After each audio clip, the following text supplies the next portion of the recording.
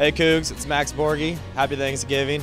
I'm thankful for my family, my friends, my coaches, the game of football, everything.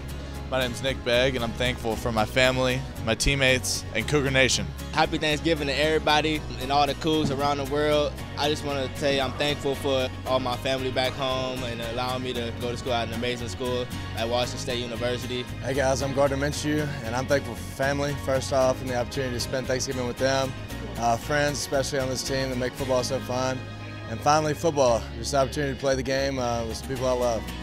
Hey everybody, this is Hunter Dale. I want to say happy Thanksgiving, uh, and I'm thankful to be a Coug. What's up, Cougs? This is Andre Dillard. Happy Thanksgiving to you all. I'm thankful for my friends and my family and to play the sport I love for the best school in the world.